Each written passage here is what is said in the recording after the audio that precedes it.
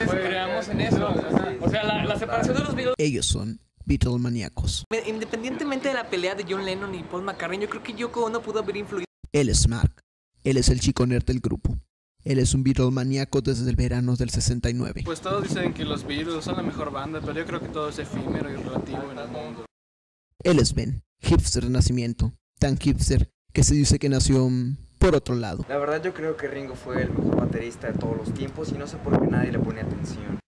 Él es Carlos, el mexicano. Evidentemente no puede decir que este primero era una muy moderna una banda una de los muy genérica. No puede En el decir todo de eso esos por 32. Ah, ¿qué es lo que ¿Qué? Él es Billy. Pobre chico. ¿Y quién es John Lennon?